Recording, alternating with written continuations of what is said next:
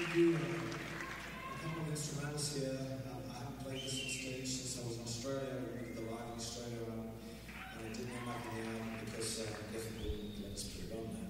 Thank you, David. Um, I'm yours. Um, anyway, this is one of my favorite instrumental pieces, and it's called Carla Etude.